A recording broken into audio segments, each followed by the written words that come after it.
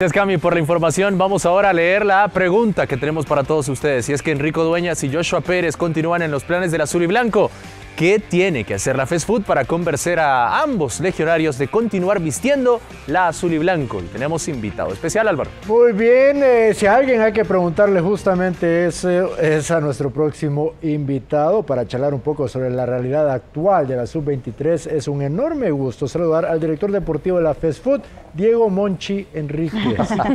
Diego, ¿cómo te va?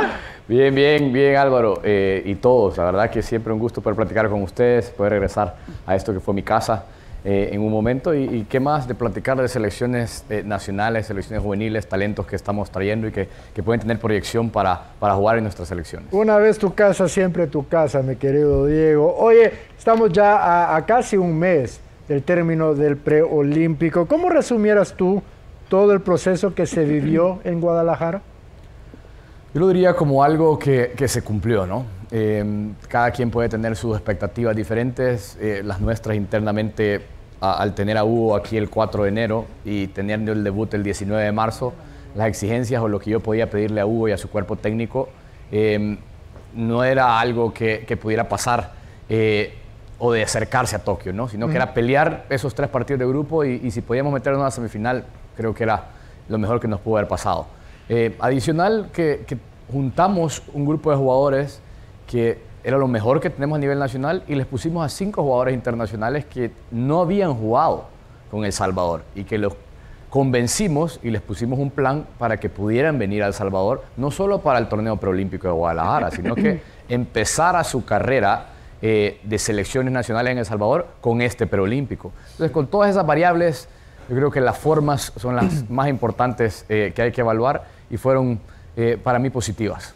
Sí, así como tú bien mencionas, ¿no? esta sub-23 dejó muy buenas sensaciones y nos abrió las puertas a nuevos talentos, específicamente Enrico Dueñas y Joshua Pérez. Ambos han estado generando mucho ruido en estos últimos días. Diego, empecemos con Enrico y el interés que de repente tuvo Finlandia para jalárselo a su propia selección. ¿Qué, qué nos cuentas sobre todo lo que ha ocurrido en estos últimos días con el interés de Finlandia?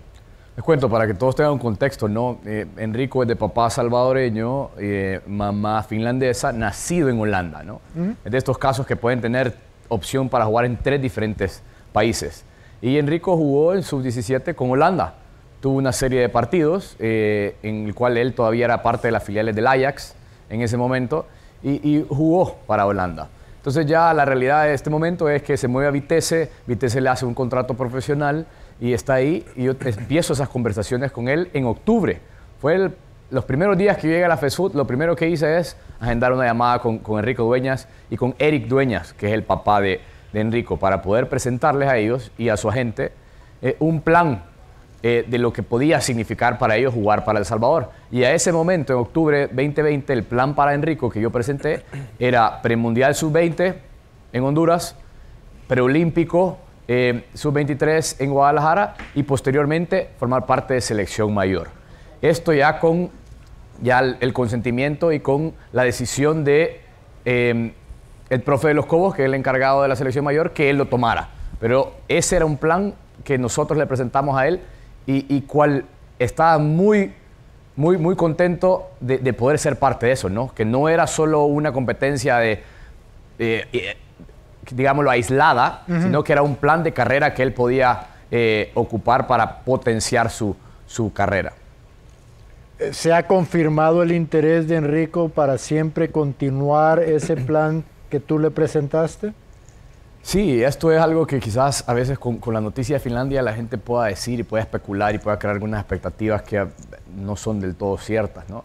Cuando yo le propongo ese plan a él y a su entorno, ellos están de acuerdo y firman el traspaso de federación. Decir, declinar jugar para Holanda, en el cual jugó, jugó, en su momento, que ya no lo estaban tomando en cuenta, pero tiene que hacer un trámite en FIFA en el cual él deja de ser parte de Federación de Holanda de cualquier selección y pasa a ser de la Federación Salvadoreña. Entonces, ellos ya firmaron ese traspaso. Ese traspaso, eh, ellos están contentos y, y en, principalmente Enrico, después de la experiencia en Guadalajara, de todo, dentro y fuera del campo, con sus jugadores, con, con sus compañeros, con el cuerpo técnico, conmigo, él está bastante contento con lo, que gira alrededor de El Salvador y está dispuesto a seguir. Entonces, esas son las noticias reales, estas son las noticias oficiales em, que se pueda pensar o que va a ir a Finlandia. A este momento, no. Diego, yo te quiero consultar. Bueno, antes que nada, bienvenido. Te lo dije en su momento. Muy buen papel de la, de la azulita. Muy buenas sensaciones, muy buen crecimiento en una semana. Pero te quiero consultar ahora por Joshua Pérez. ¿Cómo va el proceso? Eh, ¿Cuándo lo vamos? ¿Cuándo va a haber más entrenamientos? ¿Cómo va la incorporación? ¿Qué ha dicho? ¿Cómo se ha sentido? Ya nos contaste de Enrico, pero contanos ahora un poco de Joshua. Mira, esto es realmente generalizado para, para todos. Cualquiera de los 20 jugadores que fue parte del Preolímpico de Guadalajara te puede decir lo mismo y, hubo una hermandad entre ellos, aún con Enrico que no hablaba español. Em, se creó un bonding bastante fuerte e importante. Em, en el caso de Joshua Pérez, eh, como cualquier otro de la, de la sub-23 que, que, ya no tiene para otra sub-23, eh, y te digo, quitando a Tomás Romero, a Kevin Mengíbar, a Marcelo Díaz y a Alguera, que pueden jugar todavía otra, los demás, su paso natural es la selección mayor y eso ya es algo que ya no está en mis manos y que el cuerpo técnico de la selección mayor eh, seguramente está evaluando para poder ver a quiénes incorporan y, cómo lo hacen.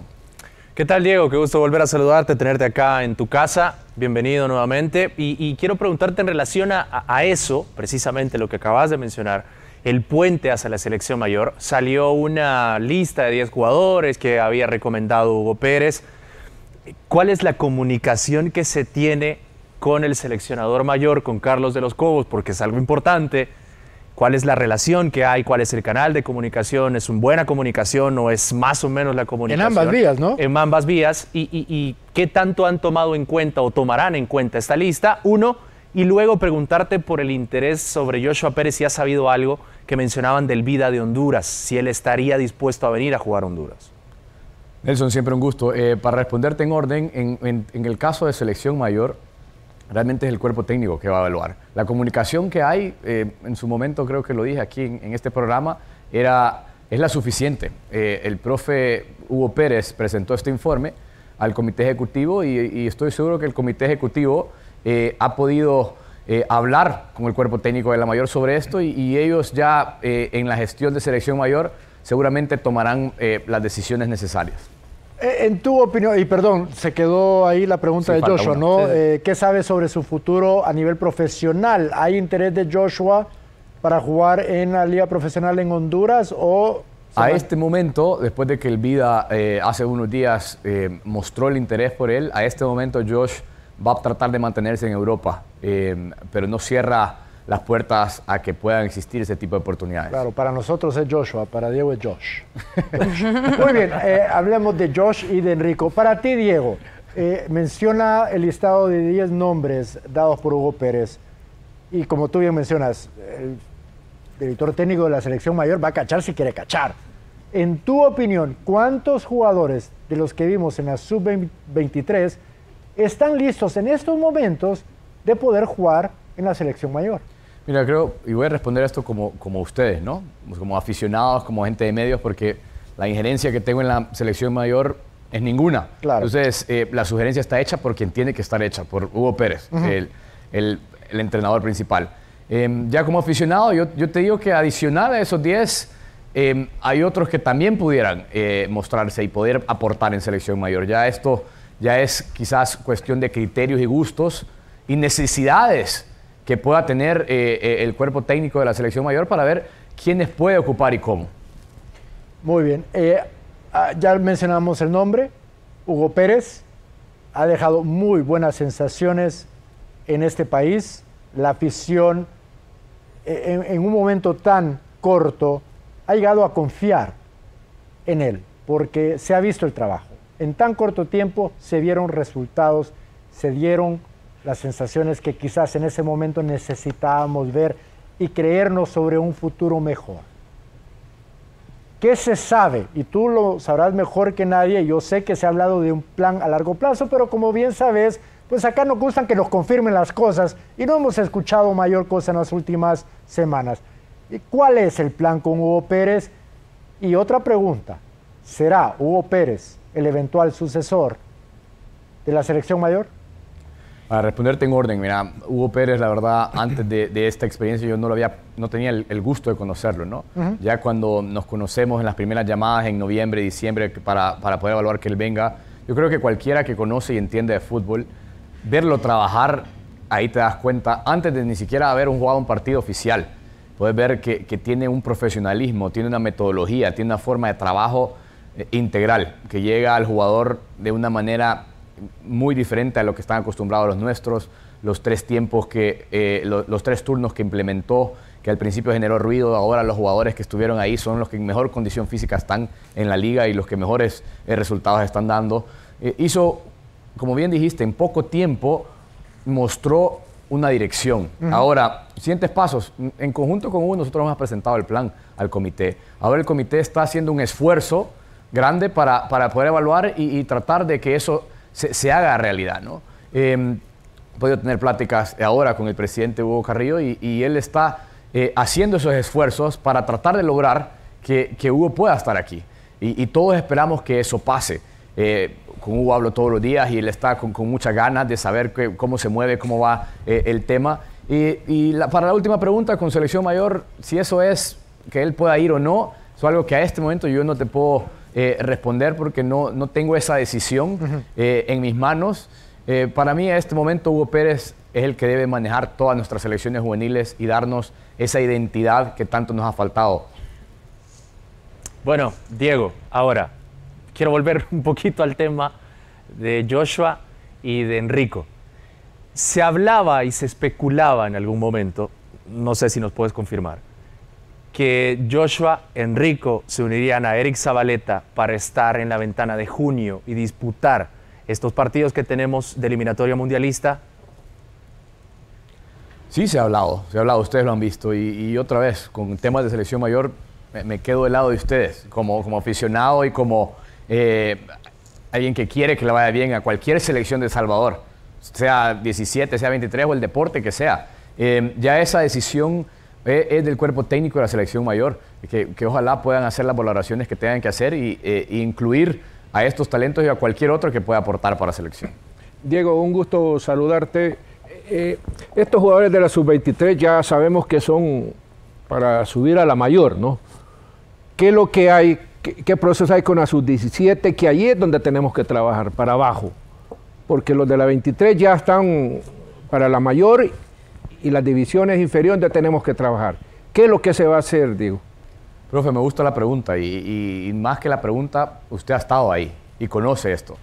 Em, el, tema más importante es cuando FIFA el 23 de diciembre de 2020 cancela los mundiales eh, sub-17 y sub-20 y los mueve a dos años. Esto nos permite poder crear un plan y trabajar hacia dos años y no tomar el plan al quemarropa que nos hubiera tocado en en, marzo, abril de este año un premundial en cualquiera de esas categorías. Entonces existe ya un plan eh, para, en este caso, como son dos años, sub 15 y sub 18.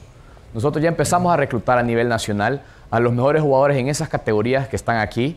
Estamos creando una liga élite juvenil para esas dos categorías y adicional en Norteamérica hemos creado una plataforma para poder reclutar en cuatro regiones de Estados Unidos y una en Canadá, para realmente poder tener una selección eh, internacional, llamarla así, con los mejores jugadores que tenemos en el país y los mejores que están saliendo en Norteamérica, e incluso un par en Europa y uno en Australia que podemos evaluar traer.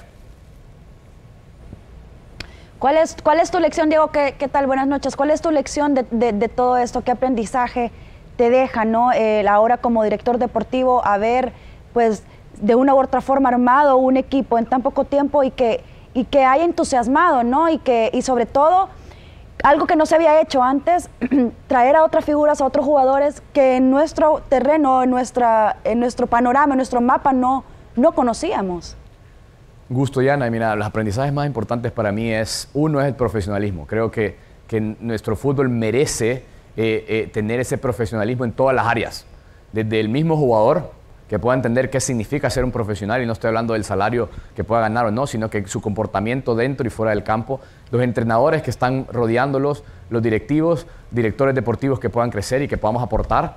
Y, esto ya está inventado, ese es el siguiente, no hay nada que inventar y que vamos a nosotros en El Salvador ser los innovadores en, en crear algo que, que, nadie en el mundo, que Alemania no sabía, que Brasil no sabía. Ya está. Esto de los jugadores internacionales es una realidad aquí en Europa, en Asia, en, en Sudamérica, y, y, hay que poder tomar la mejor ventaja de eso sin descuidar eh, lo nuestro, sin descuidar la formación de jugadores y jugadoras en nuestro terreno. Muy bien, Diego. Como bien sabes, si fuera por nosotros nos quedamos toda la noche hablando contigo, ¿eh? pero lamentablemente tenemos que pararla acá. Te vamos a invitar nuevamente para que sigamos charlando porque, como bien dijo el pájaro, hay mucho interés de qué va a ocurrir viendo hacia adelante con los más chicos, que ahí es donde hay que realmente sembrar para ver cosechar un futuro muy prometedor. Ya vimos lo que trae esta próxima generación inmediata de la sub-23.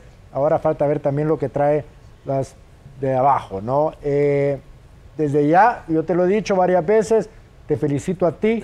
En tan poco tiempo has, has traído contigo un, cambio en, en, los vientos, ¿verdad? Que ya veníamos acostumbrados demasiado tiempo.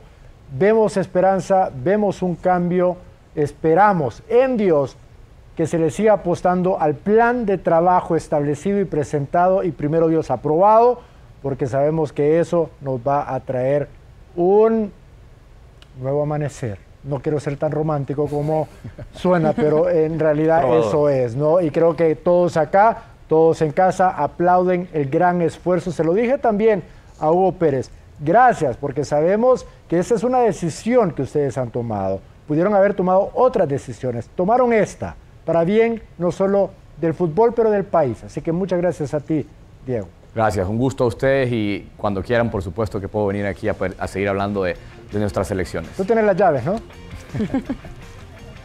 Ahí tenemos Diego Monchi Enríquez acompañándonos acá. Nelson, vamos contigo. Bueno, vamos a revisar entonces qué han dicho en redes sociales. Vamos a revisar rápidamente la pregunta, qué es lo que decían precisamente. No, bueno, vamos entonces ahora al entreno del Club Deportivo FAS. Así ha trabajado.